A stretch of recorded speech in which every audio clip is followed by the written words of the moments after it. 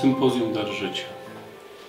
To od 13 lat przestrzeń i miejsce, kiedy głosimy pochwałę życia.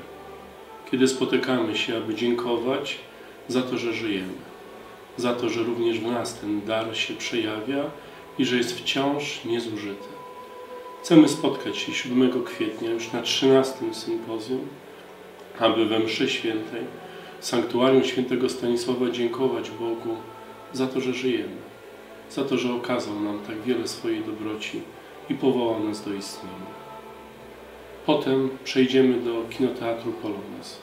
Od godziny 10 zaczniemy część formacyjną.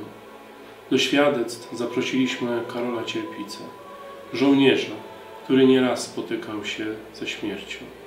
Chcę powiedzieć o potędze życia, o tym, jak on ją rozumie, jak ją znajdował na placu boju i jak zwycięsko odkrywał dar życia. Maciej Budasiński to kolejny gość, którego zaprosiliśmy do świadectwa, aby powiedział nam o syndromie pozaborcyjnym, o tym wszystkim, co niesie z sobą grzech aborcji. Chcemy mówić o tym, w jaki sposób sobie z tym radzić. Dlatego zaprosiliśmy wspólnotę Winnice Racheli, która mówi o gojeniu, o leczeniu ran po aborcji, Bożym miłosierdziem, Bożą obecnością. I nie chodzi tu o jakąś pobłażliwość, o jakieś tanie miłosierdzie, o jakieś poklepywanie się po ramieniu, ale stanięcie w prawdzie, przekonanie o miłości i dobroci Boga, który chce ocalić każdego człowieka.